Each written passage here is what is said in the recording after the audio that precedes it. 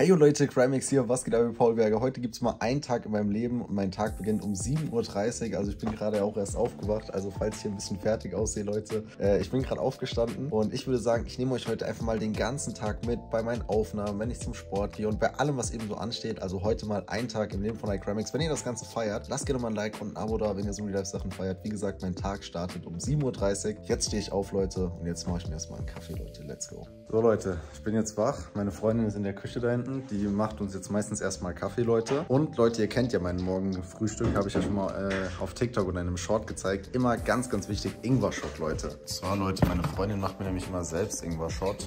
Oh, Leute, ich sage euch, der brennt ordentlich. Ich will jetzt nicht meine Mütze aufziehen. Jetzt, ich habe morgens halt so eine Frisur. Komm jetzt. Ich nehme das hier gerade undercover auf. Ja, ich werde hier wegen meiner Frisur am frühen Morgen gecharged, Leute. So, jetzt geht meine Freundin bringt mir eigentlich meistens Kaffee, Leute. So, Laptop und da sind Unterlagen drin, weil ich morgens eigentlich immer noch so ein bisschen Buchhaltung mache, Belege einscannen für die Umsatzsteuer und, und, und Leute, man kennt das. Und Leute, noch voll der Fail. Ich habe mir hier extra für den Vlog heute, habe ich mir eine richtig krasse Kamera geholt. Das ist so eine DJI Pocket 2. Und das Problem ist einfach, meine Micro-SD-Karte ist zu groß. Ich muss unbedingt heute noch eine SD-Karte holen, damit ich den Vlog mit dieser Kamera weiterführen kann, ja. So, Freunde, jetzt erstmal Cheers. Ah, Erber, Schatz, heute ist auch Valentinstag, oder? Ja. Ja. Ich wäre ja nicht, wär nicht iCrimix, wenn ich nichts hätte. Doch, doch, doch. Nein, uns nichts. Leute, man kennt natürlich den Charmeur. Warte. Ich muss hier gerade ganz kurz einmal rausgehen. Haha. ja, ich habe meine Mama beauftragt. Oh. So. Freundin zeige ich nicht, ist privat, aber ihr könnt mir glauben, dass sie sich gerade sehr, sehr freut. Also, was sagt man? Alles gut zum Valentinstag? Keine Ahnung, ja, danke schön. Aber wir wollten uns doch nichts schenken. Ja, ein paar Blumen ist ja, ist ja nix. Ja, dann danke an deine Mama, ne?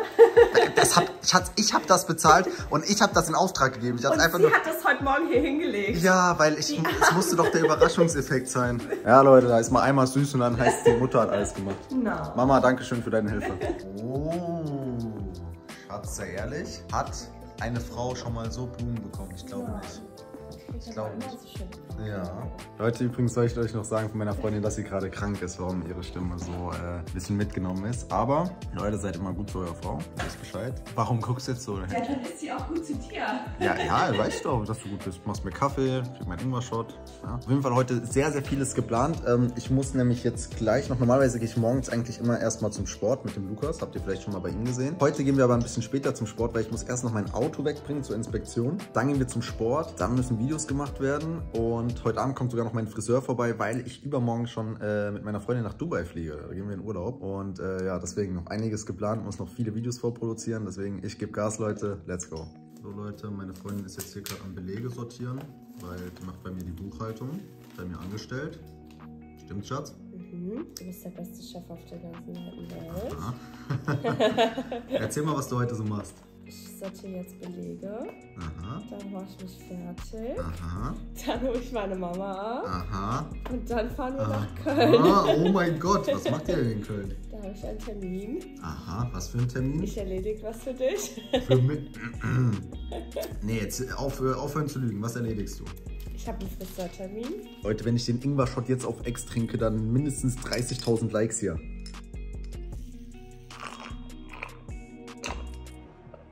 Ah. Boah, wie ein Mann. Wie ein Mann habe ich den getrunken.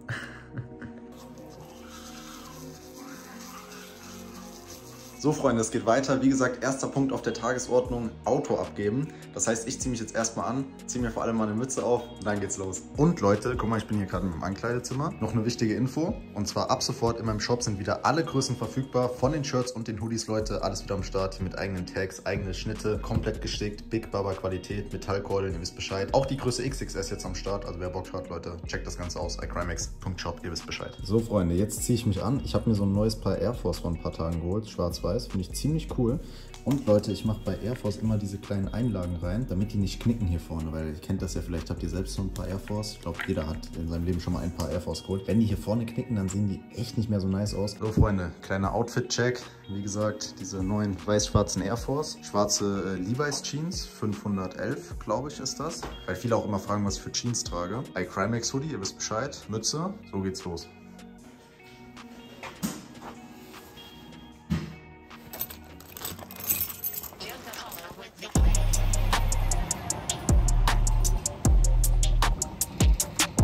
Der Bentley wird mal wieder aus dem Winterschlaf rausgeholt. Eigentlich fahre ich den Wagen gerade nicht, weil der nur Sommerreifen drauf hat. Also, äh, aber ich fahre den ja jetzt nur kurz in die Werkstatt, deswegen geht das, Leute. Bin den auch schon echt länger nicht mehr gefahren. Boah, der Wagen ist auch so dreckig, ne? Guckt euch das mal hier hinten an. Der ist echt, der sieht aus wie der sieht aus wie Poritze, Leute. Der muss jetzt erstmal auch wieder sauber gemacht werden. Also ich werde jetzt erstmal zu meinem Bentley-Händler fahren. Freunde, der Wagen bekommt eine äh, Inspektion und Wartung. Ich glaube, alle 10.000 Kilometer muss das gemacht werden. Der Wagen hat jetzt auch schon 10.000 Kilometer drauf. Also ich bin auch äh, letztes Jahr ordentlich damit gefahren.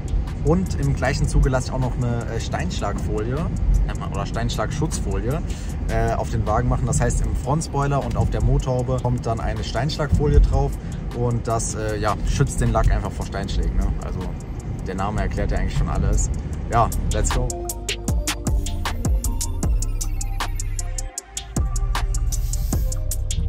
So Leute, ich bin jetzt hier bei Bentley Mannheim angekommen. Servus. Der Wagen wird jetzt weggegeben. Hier Tobi, Hi. der Chef. Hier. Ich danke der Wagen dir. gehört jetzt erstmal dir Merci. und wird dann wieder abgeholt. Sehr gut. Jetzt geht's wieder nach Hause. SD-Karte geholt. Hier Malik, der Ehrenbruder, fährt mich noch nach Hause. Ist hier gerade äh, sagt man noch Lehrling oder bist du jetzt schon. Ne, eigentlich bist du noch Lehrling. Noch Lehrling. Ja. ja, hat jetzt seine Prüfung gemacht, Leute. Er fährt mich jetzt nach Hause.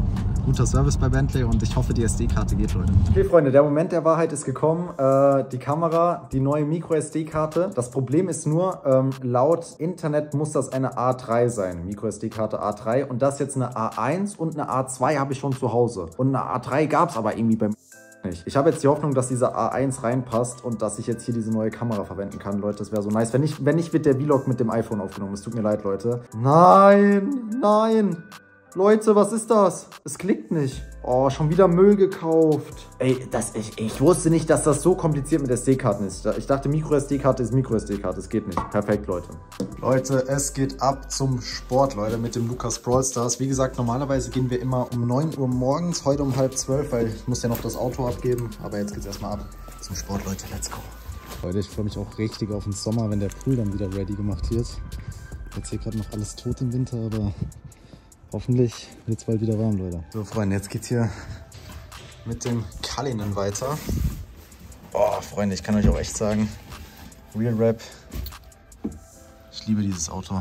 Erstmal schön die Tür zu machen. Natürlich automatisch. Und let's go, Leute. Heute ist auch Rückentraining angesagt mit Lukas. Oh Gott, die Garage hier ist eng. Heute ist Rückentraining angesagt, aber ich habe auch voll Muskelkater von dem Brusttraining. Aber egal, wird schon klar gehen, Leute. Hey, Mr. Brawl Stars. Ja, was geht? Heute Rückentraining. Ja, auf jeden Fall, ne? Würde ich mal sagen. Let's go. Ja, Mann. So, Freunde, wir machen immer zu Beginn des Trainings erstmal äh, zwei Kilometer auf dem Laufband, um warm zu werden. Das machen wir jetzt. Natürlich rennen wir jetzt auch gleich noch. Und äh, ja, Mann, let's go. Okay, Leute, wir machen jetzt die erste Übung, äh, Kreuzheben. Äh, ja, Grundübung für Rückentraining muss sein auf jeden Fall. Wir machen das jetzt mit 90 Kilo gerade. Haben auch schon einen Aufwärmsatz gemacht und äh, ja, fangen jetzt einfach mal an. Zieh durch, Max.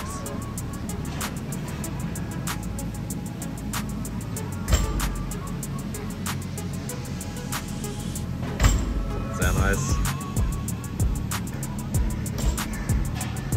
Ja, saubere Ausführung. Ich fühle mich wie so ein Fitnessblogger gerade. Aber Leute, wir machen das auf jeden Fall jetzt dreimal. Drei Arbeitssätze. Einmal aufwärmen. Das war der erste Arbeitssatz. Das heißt jetzt noch zwei. Let's go. Okay, nächste Übung, Freunde. Ja, äh, als nächstes machen wir Reverse Butterfly für hintere Schulter. Ja, wir wollten eigentlich gerade zuerst Ruder machen, aber das Feld ist gerade besetzt, deswegen machen wir erst hintere Schulter. Ich nehme mir da immer vor, die, die Schulterblätter so möglichst weit zusammenzuziehen. Damit man es richtig schön mit der hinteren Schulter Genau.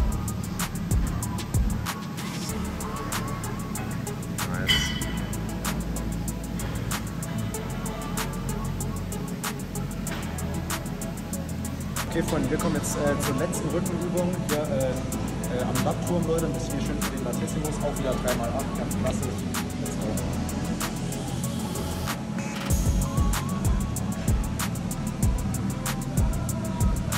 Okay. Äh, vorletzte Übung, Trizeps. Hier am Seilzug. Ja. Stell dir vor, unten ist das Gesicht von einem, der deine Luxusvilla zerstört hat. Ja.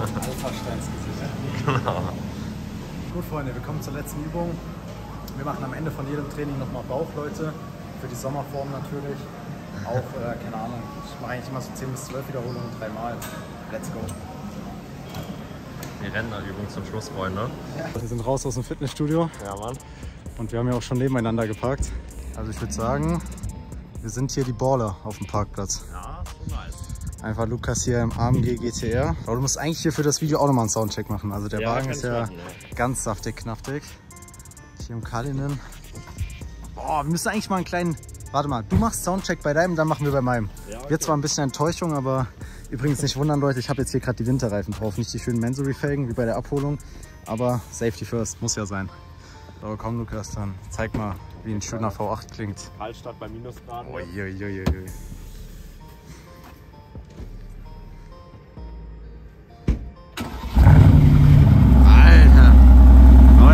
Sagen, das bei AMG sehr, sehr nice, das Blubbern. Das machen die schon gut.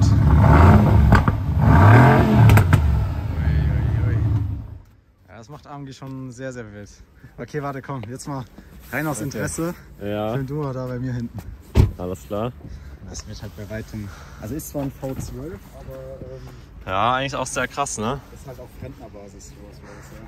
Genau, warte, ich gehe mal hier. Aber ich bleib mal hier stehen, ja? Bleib einfach da stehen. Okay, Max, gib Gas, ja? Gib alles. Ah, ja?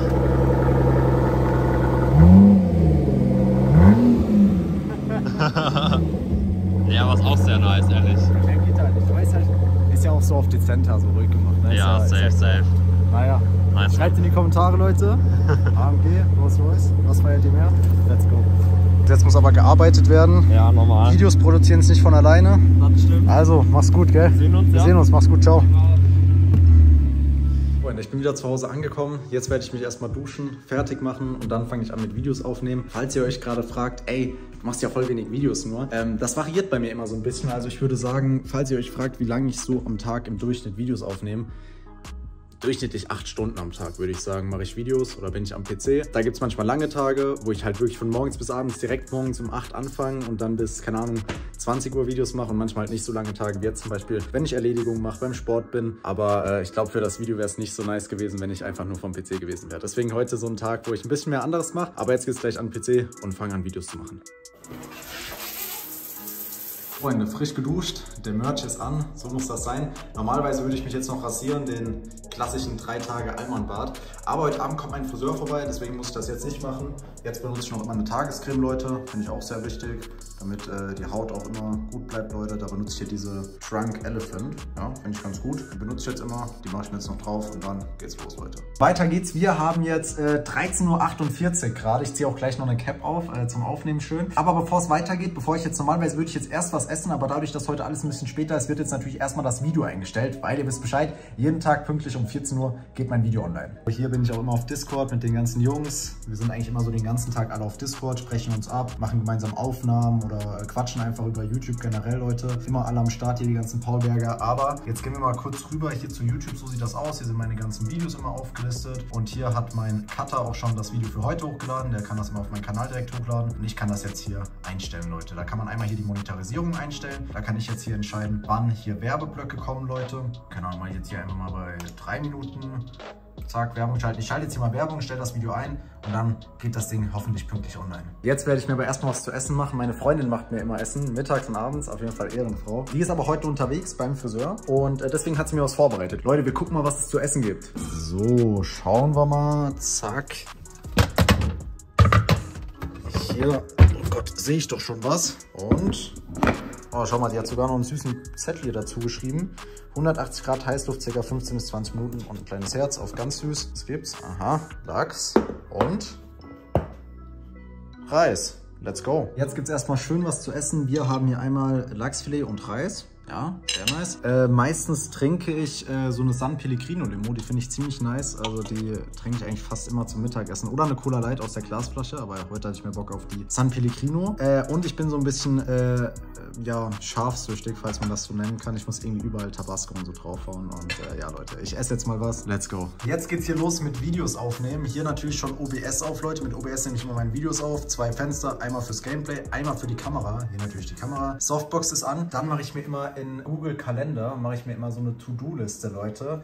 Also ihr könnt jetzt zum Beispiel hier direkt sehen, das nehme ich dann immer auf und dann kann ich das immer so schön abhaken. Einmal King Crimex Video, also für meinen Drittkanal, für Paul Berger, für iCrimex, für Hauptkanal und dann noch The Walls. Das ist ja unser neues Minecraft-Projekt, was wir schon alle vorproduzieren. Ich denke mal, wenn ihr das Video seht, hat das Projekt auch schon gestartet. Und ja, Freunde, dann würde ich sagen, Jetzt geht's los. Feierabend für heute. Wir haben jetzt gerade 19 Uhr bzw. 5 vor 7. Ich bin schon ein bisschen spät dran, weil ich muss jetzt meinen Friseur abholen, Leute. Der kommt jetzt zu mir. Dann kriege ich nochmal die Haare geschnitten jetzt. Ich habe jetzt auf jeden Fall alle Videos erledigt bekommen, zum Glück, Leute. Und äh, ja, dann geht's weiter, Leute. Let's go. Hier seht ihr auch übrigens gerade noch, wie ich das alles hochlade. Das wird jetzt hier hochgeladen für meinen Cutter, Google Drive. Und der kann das dann runterladen und dann daraus das Video schneiden. Freunde, jetzt geht's los. Hier mein Friseur Diamant am Start.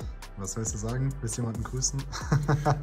Aber Leute, Schaut euch das mal an. Hier, mein eigener iCrimix Umhang. Sehr, sehr nice. Bin ich stolz drauf. Hat auch nur 16 Euro auf Amazon gekostet, aber ist cool. okay, Diamant auf jeden Fall äh, Friseur meines Vertrauens und äh, dann würde ich sagen, wir legen los.